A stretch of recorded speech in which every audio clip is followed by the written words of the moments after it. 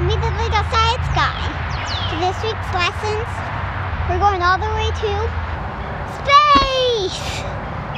Oh!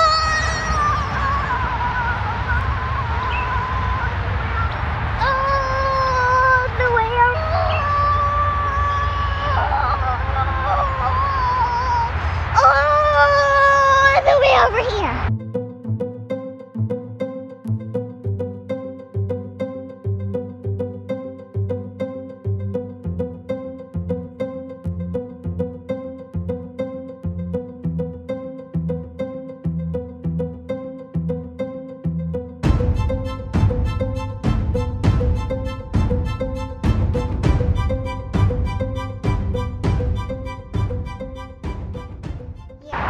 Hello again, everybody. I am Mr. B, and this is. Little science guy! And for this week's lessons, we are going into space. Uh, we are, today, we're going to learn about our seasons. We are going to learn about the scale of our solar system, and we are going to learn about Earth's rotation and revolution. Basically, what gives us night and day and our years. So, to start off with, first, um, we have a little demonstration here. This is representing our sun, and we've got this in our backyard here. And we're going to put everything, all of our uh, we're going to put our Earth into the scale that if the sun was this size, what size would the Earth be? And for this particular demonstration, it's a little hard to see, but it's this size. I'm gonna bring it up there for you. It's about that big. So if we had the sun, you want to see it? It's that big. That So you want to hold it? Okay, so if the sun was this size and this was the center of our solar system, um, where would the Earth be? And Logan is going to show you where that Earth would be.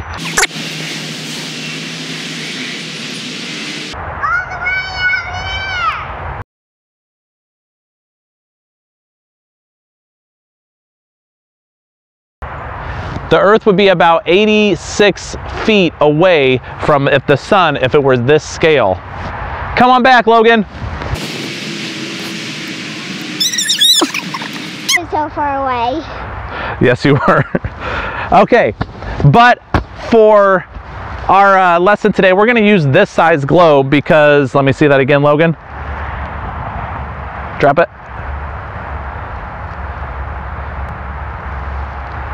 Because this thing is going to be way too tiny to show you what's actually going on on this big planet of ours. So I'm going to stick this into my pocket. We might need it for later, but for right now, we're going to hold on to it. Okay, so the first things that we want to understand are what is our night and day and what is a year? So Logan had asked me um, a little while ago, he said, where does the sun go when it goes to, uh, when it turns to nighttime? Um, and what he is asking about is when we have sunrises and sunsets, what is actually happening? And more importantly, what is happening here? Actually, I know where the sun goes now because you show because you showed me at the beach Where does the sun go? In the water, Doesn't go in the water, the river doesn't go in the river. goes into space. Uh, it is in space, that's right. But what is actually happening is the sun's not really moving, it's not disappearing, it's not going somewhere else. More importantly, what we are doing is our position is moving. So when we look up at the sky and we see the sun, we are we're seeing it from our point of view. So when we see it disappear on the horizon or rise up in the morning, what we're seeing is just our position on earth is changing. So our earth will be spinning and we this is what we call our rotation. So as we are se- seated here, for example, um, we're over here in North America. If we were pointed here, we would be seeing daylight hours. But as we rotate, we are going to see less and less of that sun until eventually our position on the earth is going to be away from the sun and once we've turned all the way away now we've turned into nighttime and now we have darkness for about uh, 12 hours if we were at the equator. Um, and then as it comes back around then our point of view is back in line with the sun and then we can see the sun again and we have sunrise and then we'll have our 12 hours of sun depending on where we are on the earth because sun daylight hours are different depending on where you are on the earth. Some places have less some places have more All right, so how long is one rotation on Earth? Um, most of us are probably familiar with that we have 24 hours in a day. That is going to be our rotation time. So it's going to be 24 hours from this point back to this point again. So one full motion of the earth around on its axis is going to be one day or one rotation of the earth. Now, how do we get one year? So when we talk about revolution, revolution is going to be our term that we're using to describe a year or to go around in an orbit around another object. The object that we are going to be talking about typically is Logan. The object that we're going to be talking about um, with this topic is going to be the sun. So our orbit of the earth around the sun. So what Logan is going to demonstrate is a year on earth. All right, so for this demonstration, it's going to be January 1st. Logan is going to show you what one year is like on earth.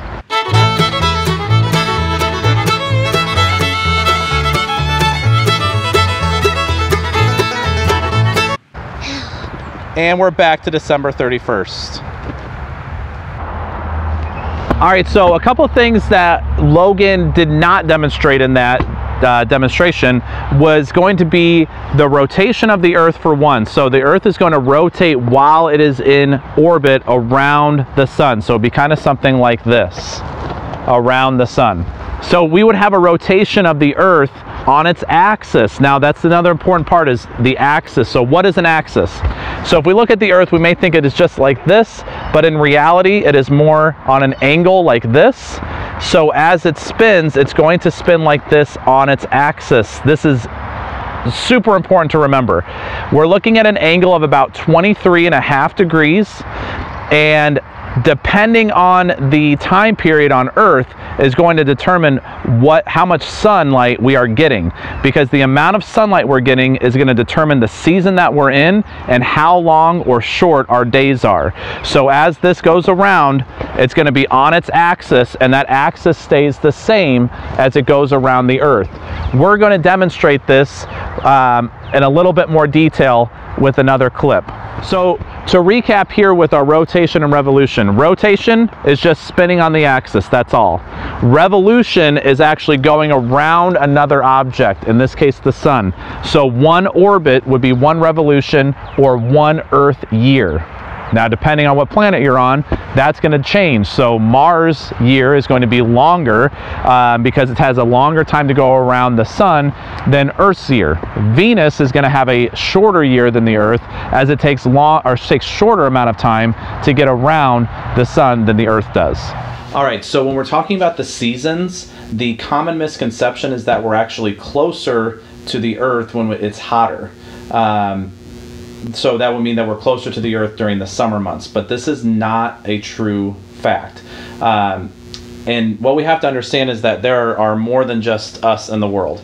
So what we have to understand is that by when we are in uh, summer, these guys down here are all in winter. So we have to look from a more global perspective here rather than um, just our own local mindset. So, and we also have data on this that shows that says this is uh, false as well. That we're actually closer when it's in the summer months, because in January when we're like this, we're actually closer to the sun than we'll ever be.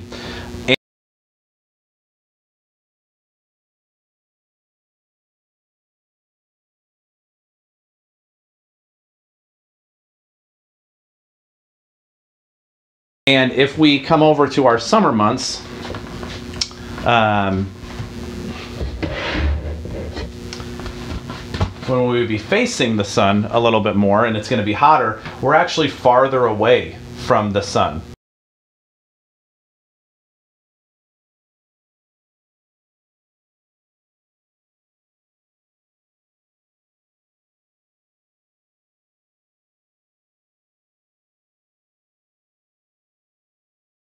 So in July, uh, we're actually at the farthest point away that we're going to be. In January, we are at the closest point that we are going to be um, for, uh, during our revolution around the sun. So proximity or closeness to the sun has really nothing to do with why we have seasons and why it gets warmer in the summer and colder in the winter. So the reason for our seasons all has to do with the axis of the earth. So what Logan is showing you here is that we should be able to see that South America and the southern hemisphere is pointed more towards the sun. So what we have to understand is that the proximity of the earth to the sun doesn't really have anything to do with our seasons. It's more of the tilt of the earth on its axis. So what Logan is showing you here is that South America and the southern hemisphere is actually going to be pointed more towards the sun, whereas we up here are going to be more pointed away from the sun. So what that means is that we are still, and I'm going to ask you to hold that tight, Logan, okay?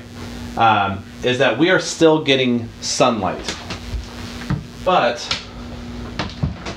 this kind of gives us a good idea, is that we should be able to see this as very bright right here, which means that the southern hemisphere in this point of the year is going to get an intense amount of sunlight.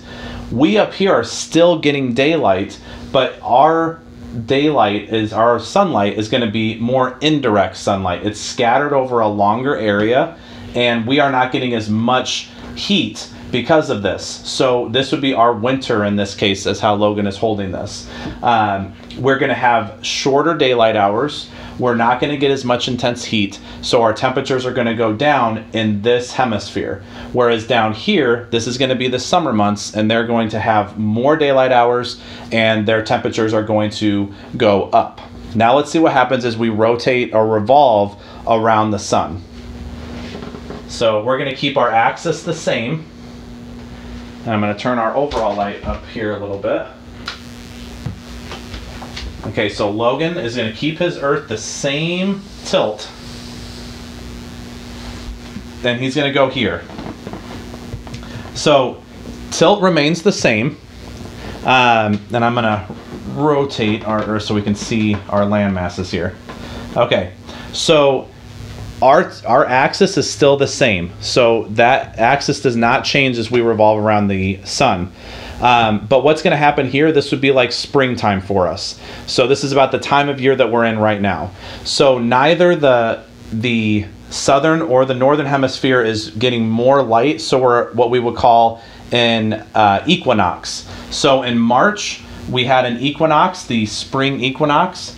And what the equinox means is that we are basically getting 12 hours of daylight, 12 hours of, of darkness. So we're getting an equal amount of daylight and darkness on the spring equinox. Um, and this would also happen on the fall equinox as well. Um, as we rotate the Earth, keeping that same axis, um, what we're going to see is that neither the, the southern or the northern hemisphere is going to experience any more daylight than the other. So that we're getting an equal amount of daylight basically on every um, equal amount of um, direction towards the sun um, throughout all both of the hemispheres. Now let's see what happens as we continue to rotate.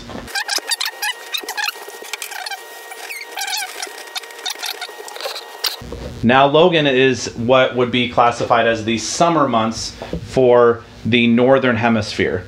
What I want you to pay attention to is now we see that we've got a bright amount of light hitting the northern hemisphere, whereas now the southern hemisphere is experiencing less daylight hours. They're not getting that direct sunlight anymore, so they these guys would end up going into the more of the winter months we up here in the north would be experiencing the summer months as we're getting more direct sunlight. And what this is also going to do for us is this is why our days are getting longer. So we can notice now that the day, the sunset is um, past eight o'clock in the evening, um, whereas in the winter we were getting dark near five o'clock in the in the evening. So we're getting more daylight hours, and this is going to continue until we hit the summer solstice. And the summer solstice is little known fact, typically on my wife's birthday. Um, but except for this year, because we're in a leap year, it's happening on June 20th. So most of the time, it is always on June 21st. What this means is that on June 21st, we have hit the summer solstice. We will have the most daylight hours uh, that we are going to experience throughout the rest of the year. So this is our longest day. So my wife gets a kind of a lucky birthday because her birthday is the longest birthday longest birthday of the year. Um, but she's just getting more daylight hours than anything. Um, so our solstices, um, what that is basically going to mean is the longest um, day, or in this case of the winter solstice, would be the shortest day of the year for us. Um, but for our uh, neighbors down south, the winter solstice is going to be their longest day of the year, and the summer solstice is going to be their shortest day of the year. All right, Logan's going to move to the other side now to show us our fall equinox.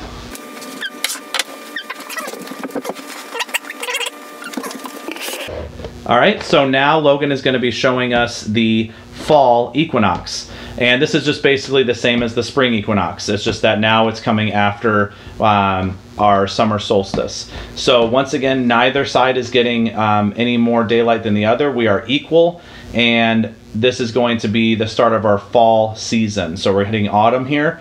Um, this would be our autumnal equinox.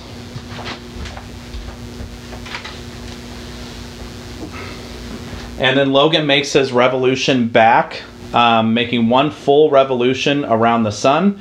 And now what we should be able to see is that his southern hemisphere, like in Australia, is getting more direct sunlight. And we up here are getting less direct sunlight. So now we've hit our winter solstice. This is going to be our shortest day of the year. This is typically going to be December 20th, um, give or take a day, depending on the leap year or not. Um, and this is going to be our shortest day. But for our friends down in Australia, this is going to be their longest day of the year because they're in the southern hemisphere.